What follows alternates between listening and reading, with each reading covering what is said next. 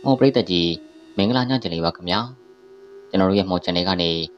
ညစဉ်တင်ဆက်ပေးနေကြဖြစ်တဲ့ပရလောကဝိတုဇာလန်တွေကိုတင်ဆက်ပေးသွားတော့မှာပဲဖြစ်ပါတယ်။ပညာတင်ဆက်ပေးမယ့်ပရလောကဇာတ်ကတော့ပြူစားတတ်တော်ရွာသူမိသားဆိုတဲ့ပရလောကဇာတ်လန်ကိုတင်ဆက်ပေးသွားတော့မှာပဲဖြစ်ပါတယ်။မြန်မာမိုးလေးရမြန်မာဟပ်ပန်နေနဲ့မြန်မာရိုးရာကာတွန်းဇာတ်လန်ကောင်းလေးတွေကိုမှကြည့်ကျင်နေဆိုတဲ့ပရိသတ်ကြီးတို့ ရွှေမြန်မာကာတွန်း channel ကနေမြန်မာကာတွန်းဇာတ်လမ်းကောင်းလေးတွေကိုတင်ဆက်လုပ်ပေးနေပါပြီ။ဒါကြောင့်ရွှေမြန်မာကာတွန်း channel ကိုလည်း subscribe လုပ်ထားဖို့မမေ့နဲ့ဦးနော်။ရွှေမြန်မာကာတွန်း channel ရဲ့ link လေးကိုတော့အောက်က description မှာထည့်ပေးထားပါတယ်ခင်ဗျာ။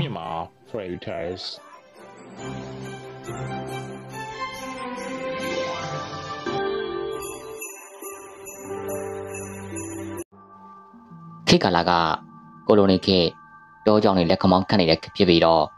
ဥရှိဘော်တယောက်ရာဇဝတ်အုံမဖြစ်လာတယ်။ရာဇဝတ်အုံမင်းလို့ဆိုရမှာဥရှိဘော်ကမိမိမြန်မာလူမျိုးတွေပေါ်မှာချစ်ခင်တတ်ပြီးတော့စာနာစိတ်လည်းအပြည့်ရှိသူဖြစ်တယ်။ဥရှိဘော်ရဲ့ဇနီးမဝင်းကြီးကလည်းခင်မုံဖြစ်သူနဲ့စိတ်ထားခြင်းတိုက်ဆိုင်ပြီးတော့တနာကျင်နာတတ်ပြီးလူဒန်းစားမခွဲခြားတတ်ဘူး။သူတို့လင်မယားကအသက်ကြီးမှရကြတဲ့ဇနီးမောင်နှံဖြစ်တယ်။မဝင်းရဲ့ငါတို့မြန်မာနိုင်ငံမှာလွတ်လပ်ရေးမရသေးတော့ ခိုးဆိုးတောင်းကျမ်းသူတွေကလည်းပေါ်တယ်အခုလေရွာတန်းရှိရွာကိုဓမြဝန်တိုက်ပြန်ပြီးတဲ့ဟာအဲ့ဒါအထက်ကမရရအောင်ဖမ်းဖို့မိန်ချတယ်ဇနီးတဲ့ကိုပြောချင်းဖြစ်ပြီးအင်းဘော်ကိုရဖမ်းဆိုတော့လည်းဖမ်းရအောင်ရအောင်ဖမ်းမတော့လူနဲ့ပဲဓမြအဖွဲ့ကို၃ရက်မြောက်တဲ့နေ့မှာဖမ်းမိလာတယ်ဒေါ်ဝင်းကြီးကခင်မွန်းတဲ့ကိုနေ့လည်စာလာပို့တတ်တယ်အခုလေနေ့လည်စာလာပို့ရုံးခန်းပြစ်တဲ့ရမှာငိုနေရတဲ့မိန်းမတစ်ယောက်ကိုတွေ့ရတယ်။ အဲ့ဒီမိန်းမကကိုဝင်ကြီးနဲ့တနာကျင်တာတက်တူပြီးပြီးငိုနေတဲ့မိန်းမနာကိုသွားပြီးတော့ညီမဘာလို့များရှက်ကြီးတင်ငင်နဲ့ငိုကြွေးနေရတာလဲဟင်အမဘာကိုညီရမလဲအဲ့လိုမေးတဲ့ခါအမရဲ့အခုအဖမ်းခံရတဲ့ဓမြဖွဲ့တွေကကိုအုံးချိုင်ကကျမယောက်ျားပါကျမမှအားကိုးစရာဆိုလို့သူပဲရှိတာပါရှင်ဆွေမျိုးသားချင်းလည်းမရှိဘူး အခုသူကအဖမ်းခံရတော့ကျမဘယ်တောင်ဘက်ကန်းကိုကက်ရမလဲတော့မသိတော့ဘူးခလေးမိုးရင်လည်းဒုက္ခရောက်တော့မယ်မရဲ့တနန်းစပွဲငိုယူပြီးတော့ပြောတယ်။ဘုံညီမဒီယုံကရာဇဝဲအုံမင်းကအမအမျိုးသားပါအမမေးကြည့်အောင်မယ်ညီမပါစားပြီးပြီလေမစားရသေးပါဘူးမရဲ့ညီမဒါနဲ့ညီမနာမည်ကဘာတူလဲအမနာမည်ကမဝင်းကြီးပါဟုတ်ညီမနာမည်ကမိထားပါမ အေးအေးကဲအခုတော့အမထမင်းတွေအိုးထိတ်ခဲ့ပါတယ်အမကြွေးပါမယ်ကွယ်အဲ့လိုပြောဆိုပြီးတော့ခင်မွန်းအတွက်အိုးဖယ်ပြီးငိုနေတဲ့ကလေးမလေးကိုကြွေးလိုက်တယ်ဦးရှိဘော်တယောက်ထမင်းစားပြီးတဲ့နောက်မှာအကို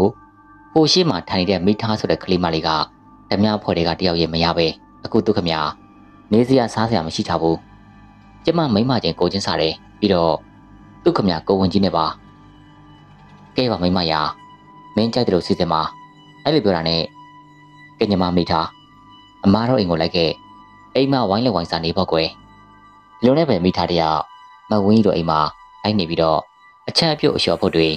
ကိုညီလောက်ကင်ပေးခဲ့တယ်မဝင်းတယောက်လည်းညီမတယောက်ရတယ်လို့ပြောရှင်နေတယ်အကိုအမှုကပါတယ်လေအင်းအထက်ကအမိန့်ရှိတာကတော့ဓမြတွေကပစ္စည်းလူလူတက်တာမလို့အပြစ်တော်ကြီးတယ် လင်မယားနှစ်ယောက်တိုင်ပင်ကြတယ်အမိန့်ချတဲ့နေ့လူသက်လူရက်တဲ့ဓမြောက်ဘက်ကိုကျုံးမင်ပေးတယ်အဲ့ဒီမိန်းကအထက်ကချခိုင်းတဲ့အမိန့်ဖြစ်တယ်ဒီဟာကိုမိထားနားမလဲမိထားနားလိုက်တာကသူ့ယောက်ျားတေးရတာဦးရှိဘော်ကြောင့်လို့စိတ်ထဲမှာဆွဲမှတ်သွားတယ်ညီမဒီအမိန့်ကအထက်ကချမှတ်ခိုင်းလို့ကိုအားချရတာဘာမှအားမငနဲ့အမတို့နဲ့ပဲဆက်နေမဝင်းကြီးကအားပေးပေမဲ့မိထားကတော့လက်စားချေဖို့သာအမြဲတမ်းတွေးနေတယ်ဒီလိုနဲ့ မဝင်းကြီးမှာပါကိုဝင်ရှိလာတယ်အသက်ကြီးမှရတဲ့ကြောင့်လိမ်မနှစ်ယောက်ကတက်တက်လှုပ်ကြတယ်ဒီမြင်ကွင်းကိုမြင်ရတိုင်းမိသားစိတ်ထဲမှာဒင်းတို့ကတော့ပျော်နေကြတယ်ငါမှတော့လင်းမရှိပဲကလေးမွေးရတော့မယ်လက်စားချိတ်ပြမယ်စောင့်ကြည့်နေကြစိတ်ထဲမှာအမြဲတမ်းမကြိမ်ဝါနေတယ်ညဒီညကလိုက်မညပဝန်းကျင်တစ်ခွင်လုံးအိမ်မော်ကြနေတယ်မဝင်းတယောက်ပြေးနေရတယ်နောက်မှခွင်းနဲ့ကြီးကလိုက်နေတယ် ခွင်းနဲ့ကြီးကတရေတမြမြနဲ့မေးရင်လေအသေးကြိုက်စားမဲ့ပုံမဝင်းရင်ပြေးနဲ့မောလာတယ်ကိုကဲမဲ့သူလည်းမရှိဘူးလမ်းမထက်မှာပြေးနဲ့နောက်လက်ကြည့်လိုက်တော့ခွေးနဲ့ကြီးကနဲ့မိမတယောက်ပုံစံစပင်ဆုပ်ပွားနဲ့မျက်နှာကိုတော့မတဲမကွဲမဝင်းရင်လည်းပင်ကိုညှစ်တယ်အာအမလီအမလီဟင်အဝင်းအဝင်းဘာဖြစ်တာလဲဘာဖြစ်တာလဲမိမဖြစ်သူကိုဦးရှိပေါ်လှုပ်နှိုးတယ် ကျမကျမလည်းပင်ကိုညှစ်တယ်မင်းအိမ်မက်မက်နေတာလေကဲကဲကဲကဲ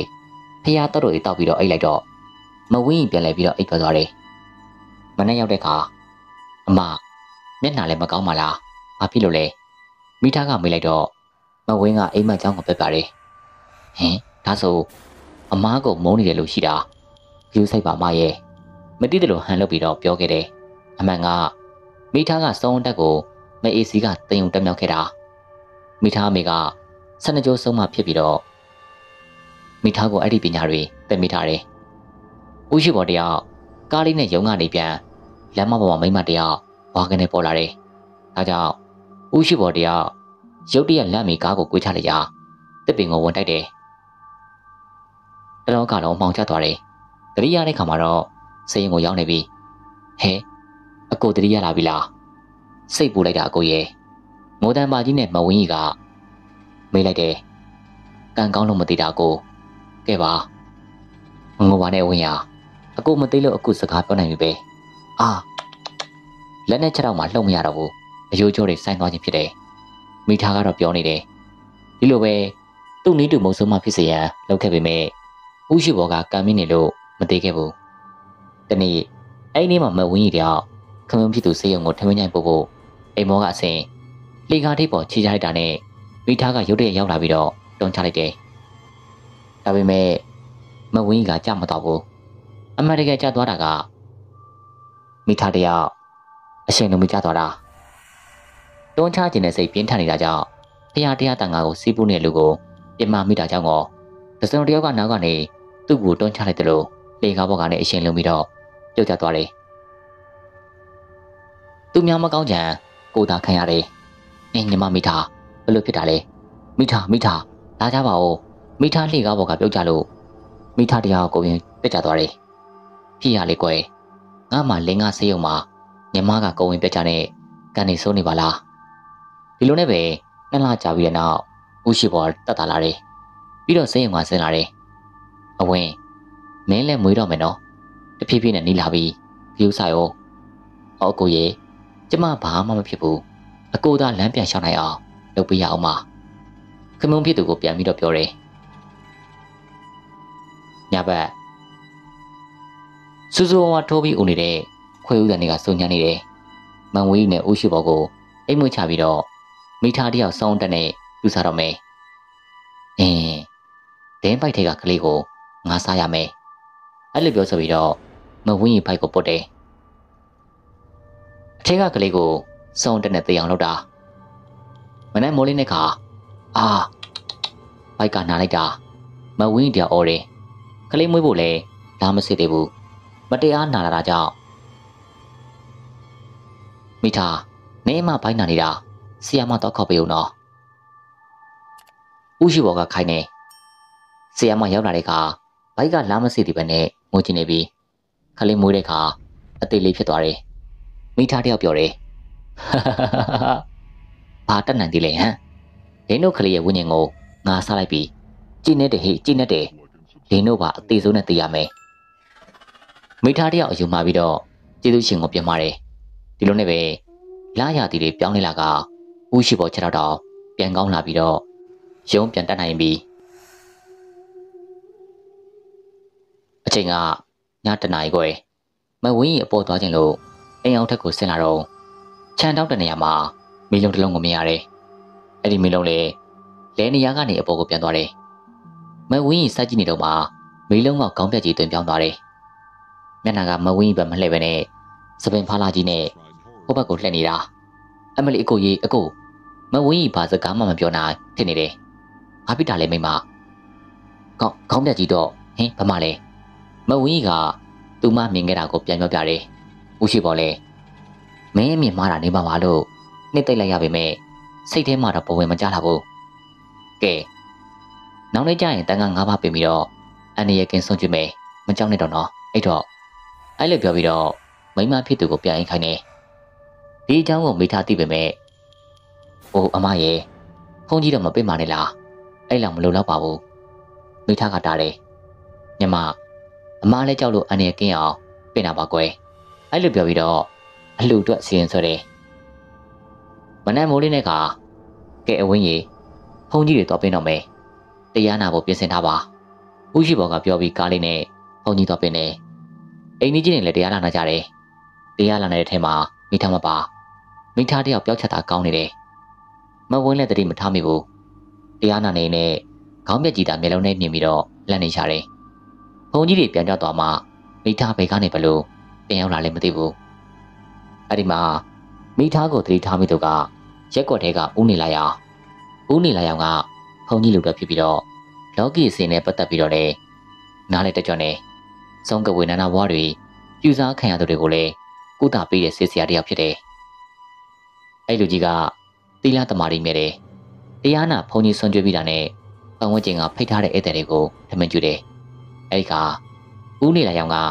မိသားတို့စားတဲ့ထမင်းဝိုင်းကိုဝင်ပြီးတော့နေရာယူတယ် ပြီးတော့မိသားကိုလည်းစစ်စစ်ကြည့်တယ်မိသားကအကြည့်မကန်ဟင်းခတ်ရာကနေ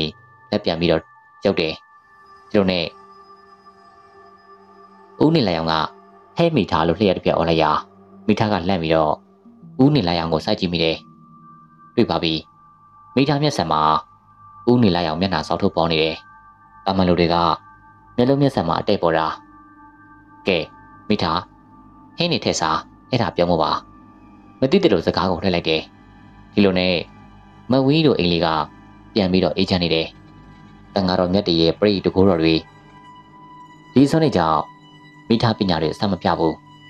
လာအနေငယ်ကြတဲ့အခါမိသားရေမိသားနင်းကိုကလက်ဖက်တုပ်စားကျင်နေတဲ့အဲ့ဒါတုပ်ပေးလိုက်ပါအောင်ကွယ်မဝင်းကြီးကမိသားကိုခံလိုက်တယ်ဒီတစ်ခါတော့မိသားအကွက်တွေ့ပြီဟုတ်ကဲ့မ ပညာပြရတော့မှမလို့မိသားတယောက်ပြောနေတယ်အမကြီးလက်ဖက်တုပ်ရပြီနော်အေးအေးလာပြီမဝင်းတယောက်လက်ဖက်တုပ်ပကံသွားယူတယ်အကိုကြီးဒီမှာလက်ဖက်တုပ်ရပြီအေးကွယ်ခဏနေမှစားမယ်အမှုတို့လေးစစ်နေတယ်ဦးရှိပေါ်မစားအားသေးဘူးဒီလိုနဲ့ပဲမဝင်းကြီးကစားကျင်လာပြီးတော့အရင်စားတယ်ကောင်းလိုက်တဲ့ဖြစ်ချေစားရင်နဲ့တဝက်လောက်ရောက်တဲ့အခါမဝင်းတယောက်မျက်ဖြူဆိုင်နေပြီဟင်အဝင်းဘာဖြစ်တာလဲ ဦးရှိပေါ်တယောက်စိတ်ပြပြဖြစ်လာတယ်မိထားနဲ့ချွေးပြန်နေလောက်တာကတယောက်စားမိတာတယောက်ဘာဖြစ်ဖြစ်လေလင်းတို့တွေကဘဒုတတိအေးတာပဲလို့တွေးမိတယ်မဝင်းရဲ့ပုံစံကအသက်ရှင်မွားတဲ့ပုံစံဦးရှိပေါ်တယောက်ပတ်ဝန်းကျင်ကိုကွင်းတောင်းကြည့်ရဘိန်းတော့ဆရာဦးနေလာအောင်ရောက်လာတယ်ဘလို့ဖြစ်တာလဲကွမသိပါဘူးဗျာစိတ်ယုံပိုးရမှတင်နေဦးရှိပေါ်ကအဲ့လိုပြောတဲ့အခါမလိုပါဘူးဦးရှိပေါ် ဦးနေလာအောင်ကအေးစစ်စွာပြောပြီးတော့စိတ်လွယ်တွေကစိတ်တထုပ်ကိုပကံလုံးနဲ့ထည့်ပြီးတော့လက်ကလေးနဲ့မှုတယ်။အိုးအပင်းကြအပင်းထွက်ငါဒီလူမြတ်စိတ်စွမ်းထက်လို့သုံးကောက်ရွတ်ဆက်ပြီးတော့မဝင်းကြီးကိုတိုက်တယ်။ကဲဘာမှမဖြစ်ဘူး။မကြခင်အပင်းကျသွားလိမ့်မယ်။9မိနစ်ကြာတဲ့အခါမဝင်းအန်နေလက်ဖက်တုပ်တွေပဲအနာဦးနေလိုက်အောင်ကတေချာစိုက်ကြည့်ပြီးတော့ကဲမဝင်းကြီးတမီ ဘာမှမဖြစ်တော့ဘူးဟောဒီမှာကြည့်ကြအဲ့လိုပြောဆိုပြီးတော့အမ်ဘတ်တွေတဲကအဖက်တစ်ဖက်ကိုကောက်ယူပြီးတဲ့နောက်ဦးရှိဘော်တို့ကိုပြလိုက်တယ်အဲ့ဒါအသားဘတ်တစ်ဖက်ဖြစ်တယ်တိတိလေးပဲအဲ့ချိန်မှာမိသားကအချင်းတွေကိုရေးမိပြီးတော့ပြေဖို့ကြံစီတယ်ဒါပေမဲ့ဦးနေလိုက်အောင်ကအိမ်ထဲကိုဝင်ကြတဲ့ကစီတာခဲ့တာမိသားတယောက်ပြေးမြတာကိုကဲဒီအသားဘတ်လေးကိုနေဘူးထဲမှာလှမ်းလိုက်ပါကြည့်ကြကွယ် မကြခင်အသားတုံးကြီးဖြစ်သွားလိမ့်မယ်မဝင်းတက်တာသွားပြီမဝင်းတို့လင်မယားနဲ့အသားပတ်လေးကိုကြည့်နေတော့မှအသားပတ်လေးကတဖြည်းဖြည်းကြီးလာတာကိုတွေ့ရတယ်လက်သီးစုံနဲ့ဆောက်စားလောက်ဖြစ်လာတယ်ဟင်ဘလို့ဖြစ်တာလဲခုနကအသားပတ်လေးပါမဝင်းတယောက်အံ့အားသင့်စွာမေးလိုက်တယ်အဲ့ဒါကိုအပင်းထည့်တာလို့ခေါ်တယ်စိတ်နဲ့စင်ထားတာအဲ့ဒီသားတော့ကိုမေးဖို့ပြီးတော့မဝင်းစားသမှာကွယ်အဲ့ဒါဆို နောက်ကသူမှအပင်းထည့်မရတော့ဘူးအဲ့လိုပြောတဲ့အခါဟုတ်ကဲ့ဆိုမြဝင်းကြီးကဖြေလိုက်တယ်အဲ့နောက်ဦးနေလိုက်အောင်ကဆက်ပြီးတော့ကဲပါလေဒါတွေခဏထားပါစုံမကိုဖော်ထုတ်ရမယ်အဲ့လိုပြောပြီးတော့ဒီလက်ဖက်တုတ်တာဘာလို့လဲမိတဲ့ခါမိထားတယောက်ကြောက်နေပြီဟဲ့မိထားလာခဲ့စမ်းနင်းစေးမရင်တောက်ရမယ်ဦးနေလာရောက်မိထားကိုပညာချွတ်တော့မယ်အိုးကျမမလုပ်ဘူးကျမမဟုတ်ဘူးမိထားတဲ့အောက်တင်နေတယ်ဒါပေမဲ့ ဒီအိမ်မှာအင်ရှင်လက်များနဲ့နေမယ်ရှိတာလာခဲ့စမ်းစိတ်မရင်လာတော့မတော့ရင်တော့နင်းကိုစိတ်မှန်ခွင့်ဆုတ်ရမယ်မိထားတယောက်ပုံစံပြောင်းလာတယ်စပင်ဆက်ပွားတည်ရည်တမျက်မှန်ကျလာတယ်မျက်လုံးနဲ့နီးလာတယ်တုံနဲ့တုံရင်လာတယ်မိထားရဲ့ပုံစံကိုကြည့်ပြီးတော့မဝင်းတို့လည်းများအံ့ဩကြောင်းလန့်သွားတယ်အဲ့ချိန်မှာဦးနေလိုက်အောင်ကစီမံကွင်းကိုကုံတော်တွေရွတ်ဖက်ပြီးတဲ့နောက်မိထားလေပင်စီကိုပစ်ထက်လိုက်ရာ မိထားလေပင်ကိုစုံဝင်ပြီးသားဖြစ်သွားတယ်အာအမလီပူတယ်ပူတယ်ငါငါ့ကိုလွတ်ပါငါတောင်းမှပါတယ်မျက်လုံးကြီးပြူပြီးတော့ရှာကြီးတိလက်ထွက်ကငိမ့်နေတယ်ဟက်မိထားနင်းပြေစမ်းနင်းဘာလို့ဒီလိုလုပ်တာလဲ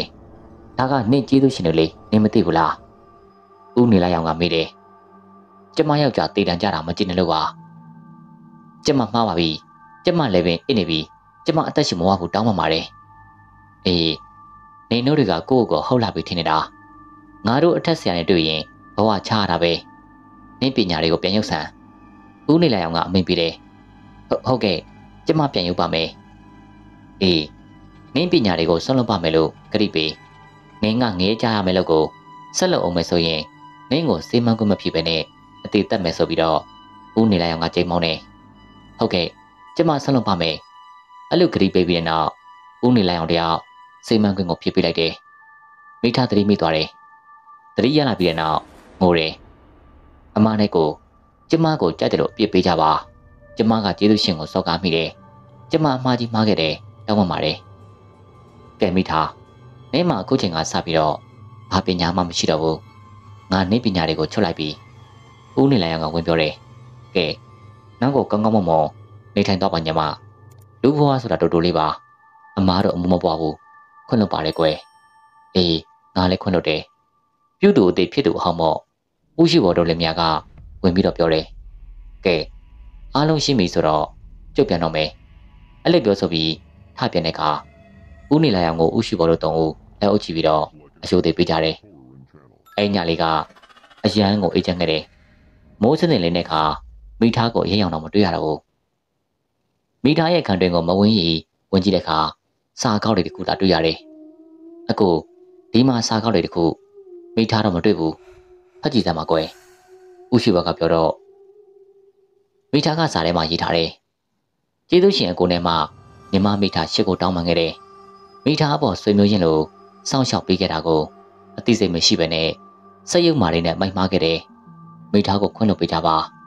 မိသားအကိုနဲ့အမရဲ့မျက်နှာကိုမကြည့်ဘူးတော့ဘူးမိသားရဲ့ဘဝကိုအသက်ကနေပြန်စားပါမယ် ရုံညတဲ့ဘဝကိုဆွန့်လွတ်ပြီးတော့သာသနာပေါင်းမှာမိသားရဲ့အမိုက်တွေကိုစစ်ကြောပါမယ်မိသားကိုမေးလိုက်ကြပါတော့ပျော်ရွှင်ချမ်းမြေ့ပါစေအကိုနဲ့မကျေးဇူးကမ်းတော်မိသားလို့စာလေးမှာရေးထားတယ်မဝင်းတယောက်ရင်ထဲမှာမကောင်းဘူးကဲပါဝင်းရဲ့သူလဲသာသနာပေါင်းမှာအေးချမ်းတောင်းမှာပါလို့ပြောလိုက်တယ်စိတ်ထဲမှာတော့အော်တက်ပြီတရာကာမတကပါလားဒီမှာနေမယ်ကျွန်တော်တင်ဆက်ပေးခဲ့တဲ့ ဖရလောကဇလံပြီးဆုံးပါပြီနားထောင်သူမိတ်ဆွေများလည်းကိုယ်စိတ်နှဖျားကျမ်းမာချမ်းသာတော်မူကြပါစေခင်ဗျာ